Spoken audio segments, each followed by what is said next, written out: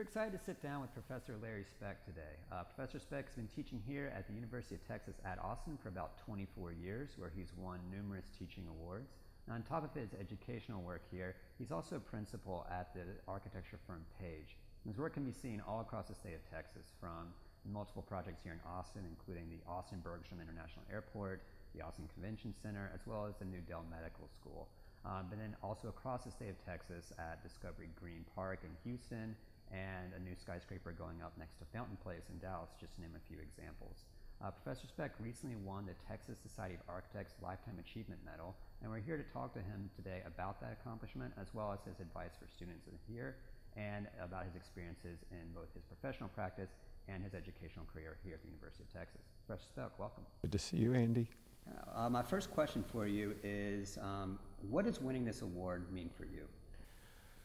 Uh, actually, at the beginning, I was like, okay, well, hmm, uh, you know, it's a little embarrassing. You get a lot of, you know, attention, and I don't, I'm not crazy about that. But I will tell you, it has been phenomenal. It has been an opportunity to reconnect with a lot of people because they would, you know, contact me and say congratulations, and that was wonderful. And then there was a big event last Friday night uh, and I have this very uh, bifurcated life where I've got, you know, UT and all those people I interact with, and then Page and all those people I interact with, and then my professional buddies in Texas Society of Architects, and then my family. And whoa, for once, they were all in the same room. And that was great, actually, uh, to kind of have them all there and, and celebrate it. It was good. Yeah, that's awesome. And you, so you mentioned that, like, that bifurcation. How do you see your work um, at Page, you know, influencing your work as a professor here, and, and, and vice versa? Like, you know, you have this, I think, really interesting position where you're both teaching students here, but also, you know, running a very successful and very influential practice. Like, how do those two things come together?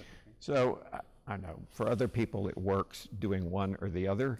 Uh, but for me, I can't imagine teaching without practicing. It's so uh, enlightening and so keeps me so connected to the profession and the discipline to be practicing. And I feel like I can really bring that back to my teaching and uh, let students get a window into, you know, what is it like today, right this minute, practicing in architecture. Uh, so that's fantastic. I think it's a big asset to my teaching. Uh, likewise, I think the teaching always gives me ideas and inspiration that I would have a hard time getting, just me personally, if I just was a practitioner. Uh, so the two are super complementary and they reinforce each other. And I think I'm a better teacher because I practice, and I'm a better practitioner because I teach. Right, and another question I had for you is, um, you know, thinking about your own work, you've done tons of projects across Texas, or even another, you know, firm or uh, architect. What do you think is a project that really stands out to you as advancing Texas architecture? Um, well, you know, I think of, of the stuff we've done, um, I'm, I'm really proud at the moment of the Dell Medical School, mm-hmm. the project we did there. Um, you know, the campus is super precious to me. I think it's a really iconic Texas thing. Uh, uses regional materials and very climate responsive and topography and uh, landscape responsive. I, I, I love the campus. And so this was an opportunity. We had done the design guidelines for the master plan and tried to embed in some of those this what is it like to do something here and make a place here? Uh, and then here was an opportunity to really try to try to do that. And uh, I think the medical school ended up being a nice combination of both very much about locality and where it is and being a part of the campus and the region. But at the same time, you know, their, their motto was rethink everything. They're a progressive place. They're not meant to be in the past. So uh, that, that was, that's really where I like to see Texas going is, yeah, looking back, but also really looking to the future. That's really cool. Um, my next question for you is, do you have any favorite, like maybe it's through your practice or maybe here at school, any favorite stories or milestones from either your professional career or teaching practice? So you know, uh, this is an old story. So, years and years ago, when I was a little baby architecture faculty member, uh, there was a symposium at UT uh, organized by somebody else on what is Texas architecture. And uh, there were three major speakers in it. Uh, O'Neil Ford, who was an icon uh, of Texas architecture, who was uh, an older guy at the point, and Howard Barnstone, who was another icon of Texas architecture, but a real modernist, not a regionalist, a modernist. Uh, and then they needed to have to balance all that old gray hair. They had me as the, the kind of young pup. Yeah. Uh, and gosh, it was an amazing experience that I've replayed in my head hundreds and hundreds of times. Uh, but that, that moment crystallized for me significantly uh, what I thought about being an architect in Texas.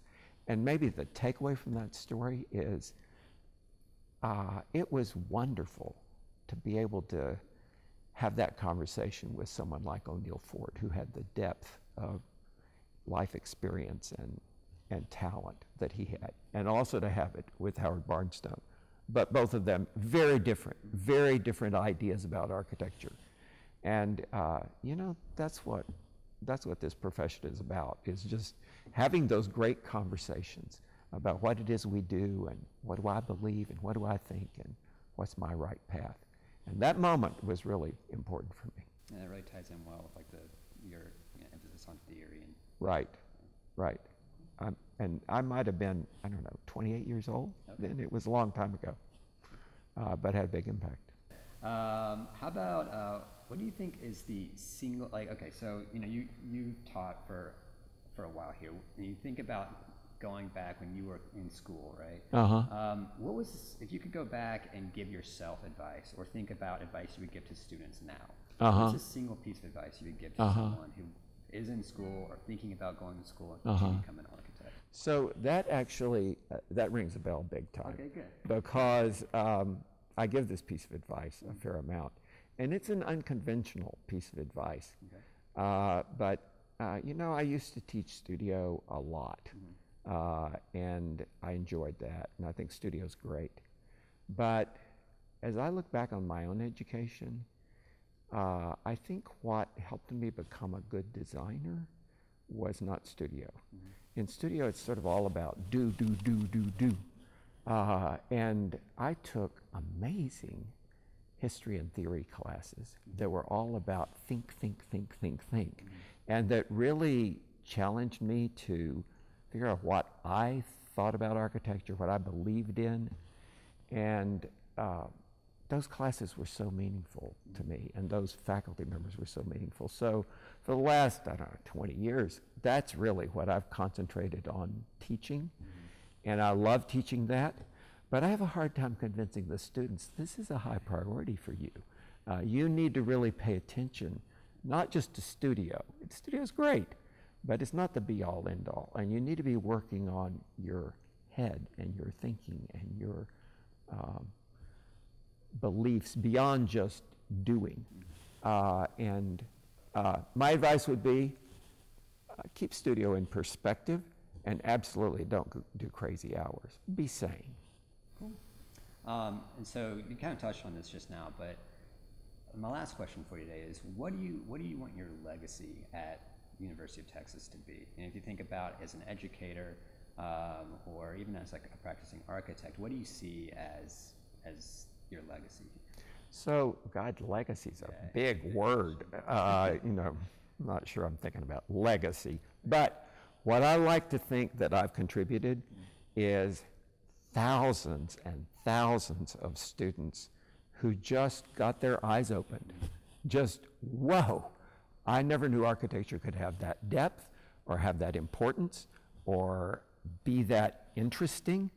Uh, and that's my job, is just to open people's eyes.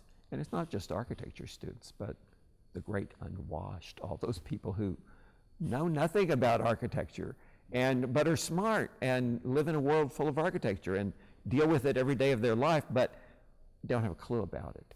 And that's what I really want to accomplish, is just opening people's eyes. Uh, and that's architecture students and architects and potential clients and users and patrons and whatever. But just to help people see this field deeper and, uh, and understand its incredible consequence on people's lives. Absolutely. Awesome. Well, thank you so much for uh, Sure. us today. Cool.